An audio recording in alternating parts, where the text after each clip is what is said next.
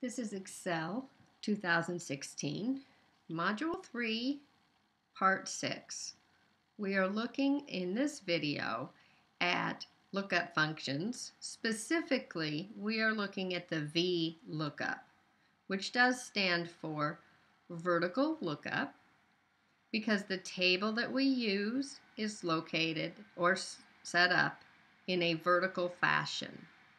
There are other lookup functions, such as the H lookup, which we will use later in the semester. But the V lookup does tend to be used more often.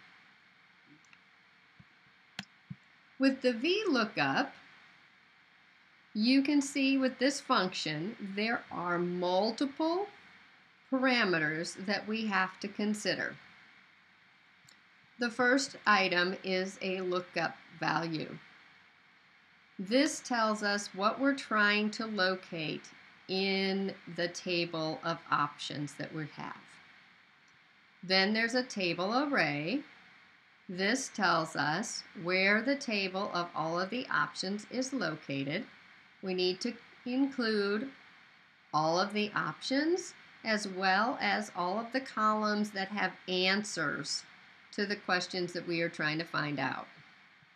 Our column index number must be a number. And we'll go through each of these as we work through the formula. It must be the column in the actual table array where the answer that we are looking for is located. It is not an Excel column like A, B, C, D, E, or F. It is a number. It is the second column, it is the third column, etc. The range lookup, I like to think of as the type of lookup we are trying to do. If it says true or is blank, then we are looking for an approximate match to the lookup value. So for example, if I were working with a grading table and I said this individual's score is 91.5, then I would tell it to find the closest match to that number and tell me what grade the individual had. So if that was an A minus, then that would pull in. 91.5 is probably not specifically listed in my grading table. Typically, it might say that 91 is an A minus, and you know, a different number like 94 is an A. But if you got between 91 and 94, then you would have an A minus. So you don't want to look for the exact value, you want to find the closest one. That's an approximate type of a VLOOKUP. An exact match is what we will be doing in a moment when we're looking at our corn farm example. We want to find the exact corn hybrid in the table of possible options. If we don't find the exact one, then it needs to give us an error message because we know we have something typed in wrong. It has to be exact. Okay, so when we do our formula, this example here is based off of the one in the file we're going to use in just a moment. The one issue that is not considered here is that this formula is going to be copied and so some of these references that we're using may need to be absolute. So let's go ahead and take a look at our VLOOKUP. in our file that we've been working with for our farm, the Wingate. We're going to start out by saying we have planted the corn hybrid that says CS, and then it's going to be 6478. Now, what I want to do is I want Excel to locate this value in my corn hybrids table. I want it to find the yield that that particular one has and bring it back and display it in that cell. Then I'm going to copy the formula down to row 17 and I want it to find it and return the height. And then the same thing here with maturity. So to do a VLOOKUP, I'm going to start out in cell B16. I want to find the yield. So to do this, I'm going to go to the Lookup and Reference group on the Formulas tab. I'm going to choose VLOOKUP. I can't stress enough that on these complex functions, you really need to use these function dialog boxes. This helps you so much because I'm clicked in the lookup value and if you look down here it gives you the information of what needs to go in there. So what you're trying to look up is which corn hybrid you are using. Now we've said in cell B15 that that is the corn hybrid we are using. So that is your lookup value. I need that to be absolute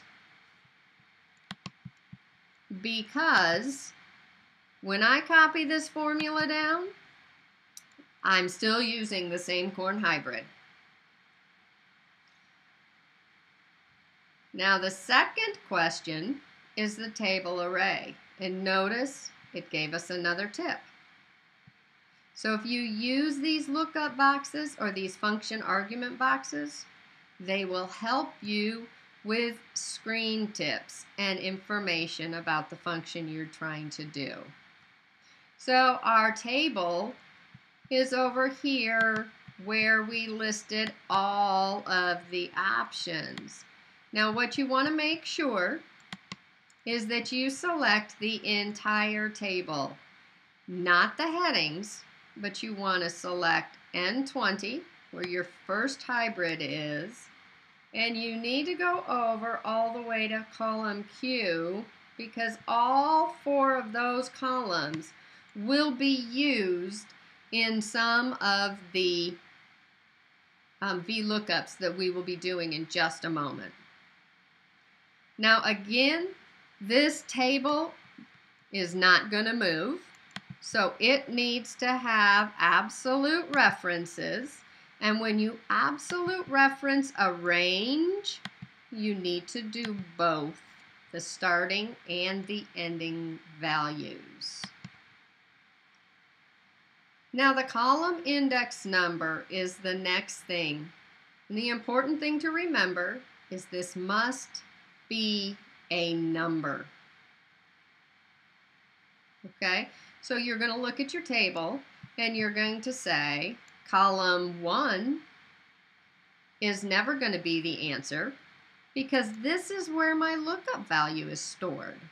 I already have this piece of information. So which answer am I looking for in the cell I'm in? I want the yield. Well, that is in column 2. So you're going to put a 2.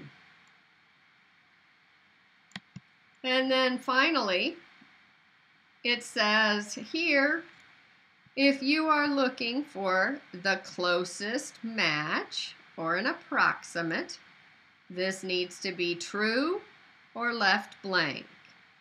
If you want an exact match, you have to type false. So we are going to type false. And now it shows me the answer that it is going to bring back. That the yield we put in, CS6478, has a yield of very good. And it displays that.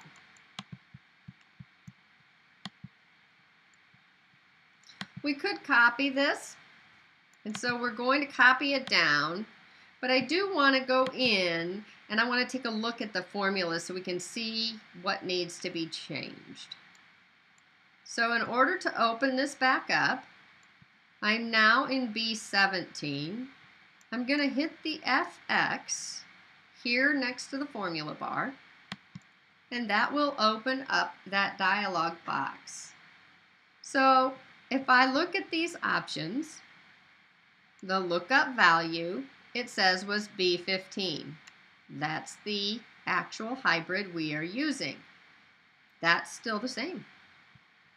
When I look at the table array, that is over here, N20 through Q27. That is still the same. So now what I need to change is this column index number. So in this formula, I need to return the height of the stalks. Well, that is in column. It's not in 1, 2. It is in 3. So I am going to change this to a 3. And it says it's going to bring back a medium height. And then the final piece of information that I need is the maturity, which is stored in column 4. So nothing else changes with the exception of the column index number because I'm returning a different piece of information.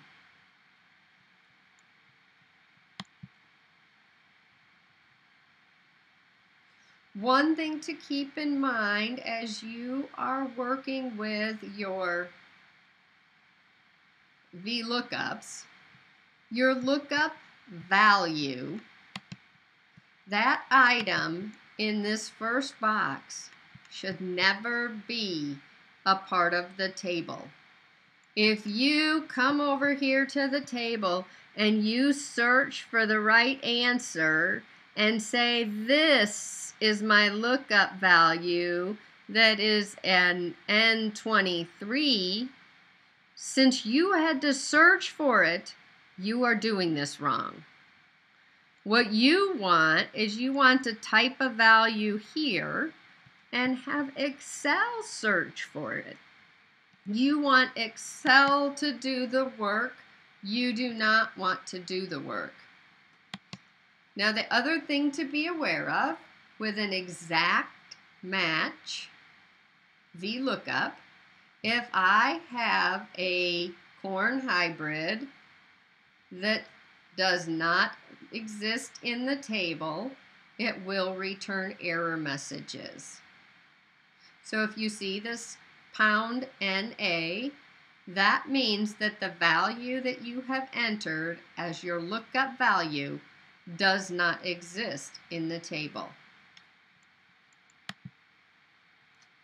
Okay?